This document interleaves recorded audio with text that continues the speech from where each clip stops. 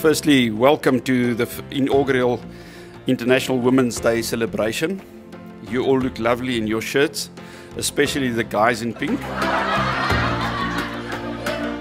It's very important for us to recognize the role that women plays in business today and uh, Roxanne did some uh, research for me and you, you'll find a study that was done in 2019 that proved that in companies where the top management was, was uh, gender equal, uh, did much better financially than, than uh, a, a, typical old company where they were basically male dominated companies.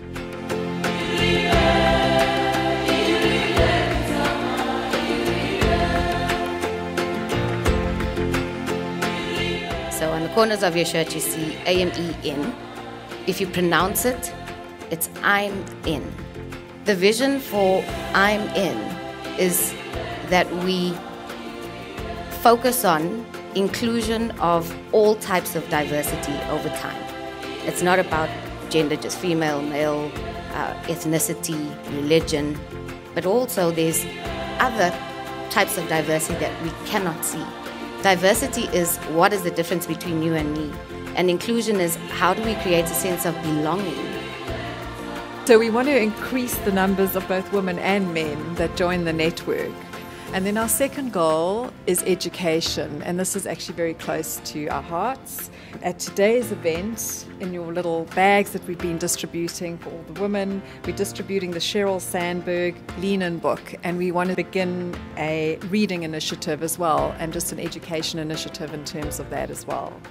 Our third goal is to focus on wellness and health. And then our fourth goal, and that's our final goal for the year, because we've been quite ambitious, is to grow representation of women in UPL AME as well as in leadership. We currently have leadership standing at 17% of women in AME. We want to increase that as well as to strengthen our pipeline.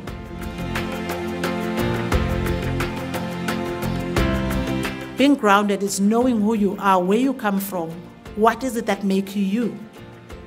I'm a proud person, I'm a proud Zulu girl. That's just for me the grounding. When I go home, they're not meeting the winemaker, they are not meeting the business person, they're meeting the child in the village that grew up at home. So that for me, it keeps me grounded to be among the people who cares. And so when I go out to the world, I'm going there with pride and knowing that I am loved at home. Our label's got a calabash because that's what we use for our traditional beer.